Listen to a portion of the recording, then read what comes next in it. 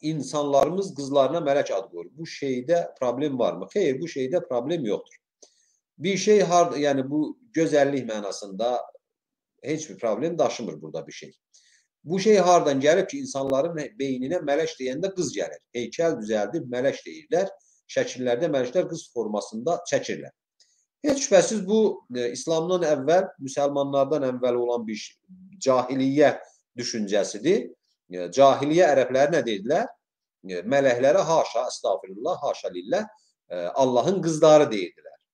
Allahın qızları dedilər və Allah da Quran-ı Kərimi göndərdi və mələklərin qız olmadığını bəyan elədi, amma cahiliyyət dəyişmir axırı.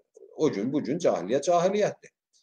Və bu qadın mələyə qadın siması vermək oradan gələn bir cahiliyyətdir. Yəni cahiliyyətdən gələn bir şeydir.